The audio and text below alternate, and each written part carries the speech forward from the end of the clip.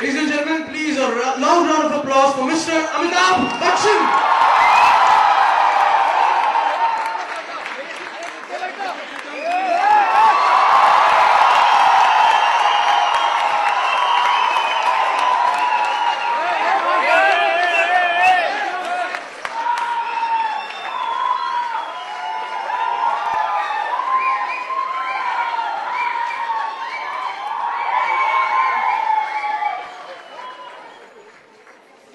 मैं धन्यवाद देना चाहता हूँ सुभाष जी और उनके इंस्टीट्यूट मुस्लिम वुड्स को, मेघना जी को, कि उन्होंने आज ये कार्यक्रम आयोजित किया। और बहुत ही भव्य तरीके से मुझे उन्होंने सम्मानित किया है। इसके लिए मैं, मेरे पास नहीं है, कैसे धन्यवाद दूँ? मेरा हमेशा मानना रहा है कि जो उपलब्धि हमें प्राप्त नहीं थी, फ़िल्म इंस्टीट्यूट की, हमने कभी ट्रेनिंग नहीं की। तो वो सुभाष जी ने और मेघना ने मिल करके यहाँ पर जितने भी जवान प्रत्याशी हैं हमारे भारत में और जो फ़िल्म इंडस्ट्री में प्रवेश करना चाहते हैं, उनके लिए कितना एक खूबसूरत एक अवसर बनाया उन्होंने। तो मैं सबसे पहले उन्हें बधाई देता हूँ। और इसी तरह कार्य होता रहे, जैसे कि मैंने अभी कहा कि आने वाले सालों में ये जो माध्यम है, ये और बढ़ेगा। और किस हद तक ये जाने वाला है, इसका आप लोग कभी अनुमान भी नहीं लगा सकते, मेरा ऐसा मानना है। चाहे वो फ़िल्म हो, चाहे वो टेलीविज़न हो, चाहे वो कोई भी ऐसा माध्यम हो जिसमें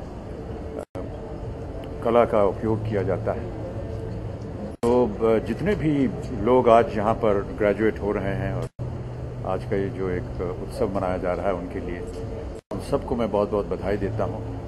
ये देश का और ख़ास तौर से फ़िल्म इंडस्ट्री के भविष्य हैं और मेरा ऐसा मानना है कि भारतीय फ़िल्म इंडस्ट्री का भविष्य जो है वो बहुत ही सुंदर होने वाला है और इन सब का योगदान उसमें रहेगा। तो उन्नीस इकसठ की बात है और अब कुछ ठीक तरह से याद नहीं है। लेकिन ज़ाहिर है कि उस जमाने में माता पिता जो थे, उनके मन में केवल एक ही एक ये एक तरह से एक एक कानून बना हुआ था कि ग्रेजुएट होना बहुत ज़रूरी है सब अब तो बहुत सारे माध्यम मिल गए हैं, लोग अलग अलग दिशाओं में जा सकते हैं। लेकिन उस जमाने में ग्रेजुएट होना एक बहुत बड़ी बात मानी जाती थी। जितने भी माता पिता थे, घर में जितने थे लोग सब यही कहते थे, ग्रेजुएट होना बहुत ज़रूरी तो हमारे लिए बड़ी एक बहुत बड़ी उपलब्धि थी कि हम ग्रेजुएट हो गए। लेकिन ग्रेजुएट होकर के उसके बाद क्या करें, ये थोड़ी सी दुविधा हो गई। क्योंकि उस जमाने में इतने इतने माध्यम नहीं थे। और ना ही हमारे पास कोई ऐसे साधन थे। आर्ट कॉमर्स साइंस तीन जी। कि हम कुछ और सोच सकें। और आज की जनरेशन जो है वो एक तो बहुत ही होनहार है बहुत होशियार है। सात आठ या नौ साल के वर्ष का किसी भी आप बच्चे से पूछेंगे तो वो बता देगा कि उसको क्या करना है अपने आगे जीवन में जाकर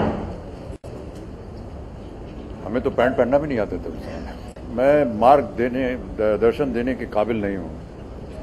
जो काबिल हैं, वो मेरे बाएँ हाथ बैठे हैं। उन्हीं से पूछिए आप, क्योंकि इन्होंने इतना बड़ा एक इंस्टीट्यूट यहाँ कायम किया हुआ है। और क्या सोच करके किया, ये अब सुभाष आपको बताना पड़ेगा।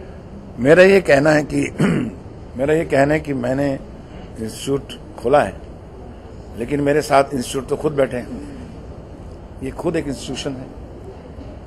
कि किसी बिल्डिंग और इंस्टीट्यूट के खोलने से नहीं कुछ होता, उसके पीछे जो अध्यापक हैं टीचर्स हैं जो एक्सपर्ट्स हैं, जो प्रोफेशनल्स हैं, उनका जब कंट्रीब्यूशन किसी भी विद्यालय में और इस तरह के इंस्टीट्यूट में होता है तो जाके वो विस्लिंग वुड्स बन सकता है। मैं तो एक सोर्स था उसमें कि मैंने सोचा कि ऐसा करना चाहिए, लेकिन सबका योगदान रहा। हमारे हर डायरेक्टर का, हर एक्टर का, अमित जी का अजय जी का, हर हर आर्टिस्ट एंड टेक्नीशियंस का।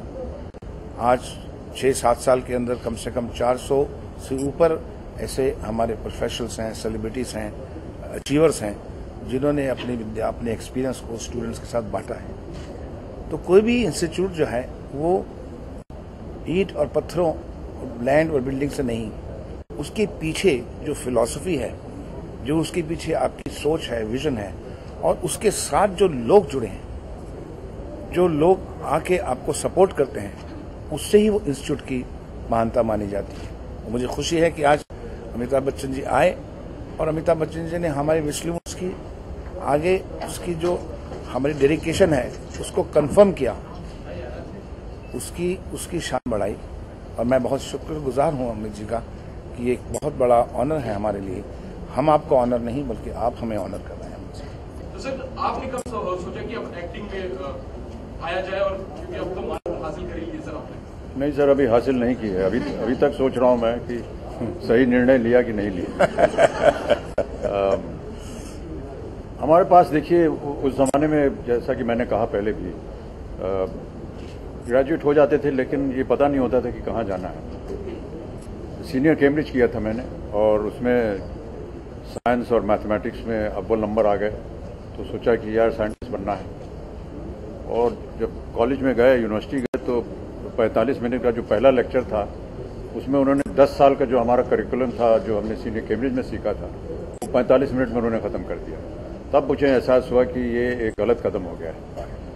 लेकिन अ, अ, एक बार ग्रेजुएट हो गए फिर उसके बाद क्या करें कहाँ जाएँ ये एक हमेशा एक दुविधा रही। किसी ने कहा कलकत्ते में नौकरी वगैरह मिल जाती है वहाँ चले गए वहाँ नौकरी मिल गई। लेकिन आज तक मैंने अपना जो साइंस का जो अनुभव है तीन चार साल हमने लगाया यूनिवर्सिटी में। आज तक मैंने उसका उपयोग नहीं किया। तो आजकल की जो जनरेशन है उनके सामने बहुत ही अच्छे अच्छे उपलब्धियाँ हैं। वो सोच सकते हैं और सही दिशा उनको दिखाई जा सकती है। जैसे कि मैं, मैं बात कर रहा हूँ विस्लिंग वुड्स की। कि आप यहाँ आइए आपको डिग्री मिलेगी। आप कलाकार बनना चाहते हैं इस क्षेत्र में आप डायरेक्शन प्रोडक्शन जितनी भी सुविधाएँ इस विस्लिंग वुड्स में प्राप्त हो रही हैं उन सबको आप बढ़ावा दे सकते हैं और, और हर एक प्रोफेशन जो है जो कि फ़िल्म इंडस्ट्री से संबंधित है आज वो इतना बड़ा और गंभीर और प्रचलित हो गया है। पहले हमारे सेट्स के ऊपर इतना ध्यान दिया नहीं जाता और सबसे ज़्यादा खुशी की बात मुझे इस बात की होती है कि आज आधे से ज़्यादा व्यक्ति किसी भी फ़िल्म में जो काम करते हैं जैसे उसमें लगे होते हैं उसमें महिलाएँ आधे से ज़्यादा।